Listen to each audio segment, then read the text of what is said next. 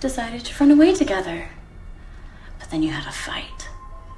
There's a struggle, and you accidentally killed him. 欢迎收看大白话影院，我们是大白话、小白话，还有小爆炸。今天我要跟大家说一部惊悚电影，叫做《母院》。非要说，咱们来看电影吧。这部电影说的是啥呢？说呀，那是发生在不知道哪一年的美国。咱们的女主就是一对母女，妈妈咱们叫做二舅妈，女儿咱们叫做金发妹。虽然二舅不在了，但是他们母女二人过得还是不错。这一天在上学的时候，他们不小心撞到了小波浪。原来呀，小波浪是学校新转学过来的妹子。出于道歉，金发妹还要带着她熟悉熟悉学校，顺便还认识金发妹的闺蜜黑发妹，还有男朋友长毛子。虽然黑发妹不是很喜欢小波浪，但可是金发妹还是不介意跟他做朋友。而且由于自己马上就要考试，正好小波浪学习不错，所以小波浪就要到人家里给金发妹复习功课。结果在家里还认识了咱们的二舅妈，二舅妈就说了：“你放学不回家，你妈妈不担心吗？”小波浪回答说自己妈妈去世了，当时给二舅妈心疼的呀，赶紧来一个抱抱。当天晚上在一起复习的时间还有点晚，所以小波浪还在人家里过夜。在这期间，偷偷摸摸的上二舅妈房间看看，也不知道有啥好看的。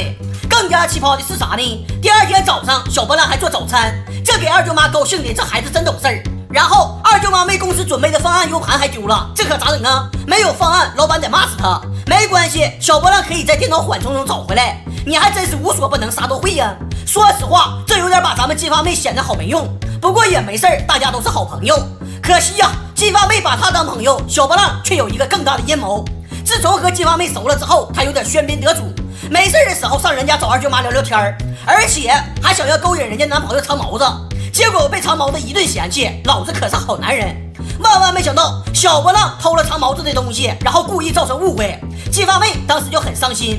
小波浪又说了：“是你男朋友勾引我的，我真不想跟他在一起。今晚咱们继续学习多好。”黑发妹就说了：“我们今晚没时间，我们要去找一个朋友玩。”但其实他们是在金发妹家里开派对而已。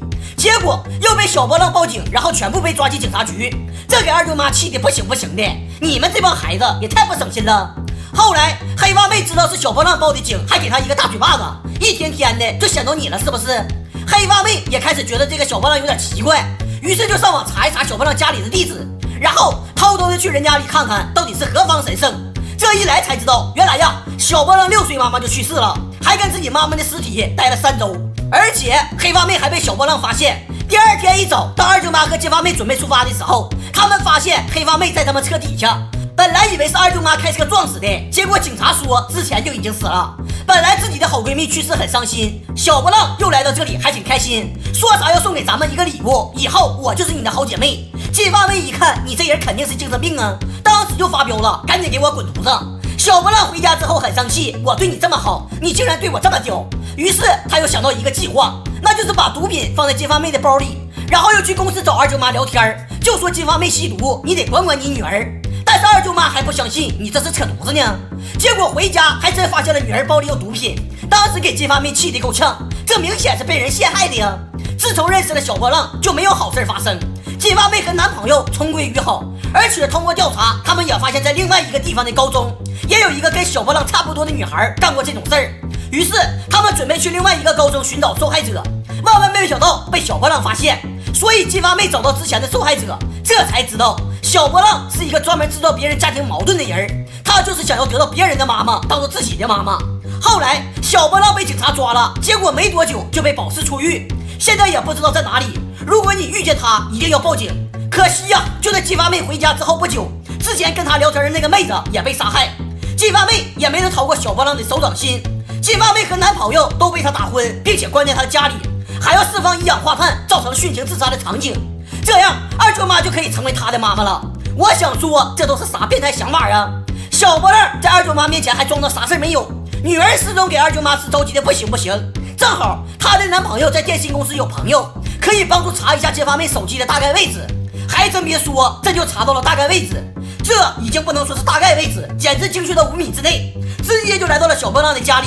当然，二舅妈他们不知道这里是小波浪的家里，大家还是要早早的。结果小波浪怕事情败露，就给二舅妈的男朋友一顿打。现在只剩下他和二舅妈，这回大家都明白了，人家就想让二舅妈当自己的妈妈，如果不干的话，那就整死你。就在二舅妈也危险的时候，金发妹竟然逃了出来。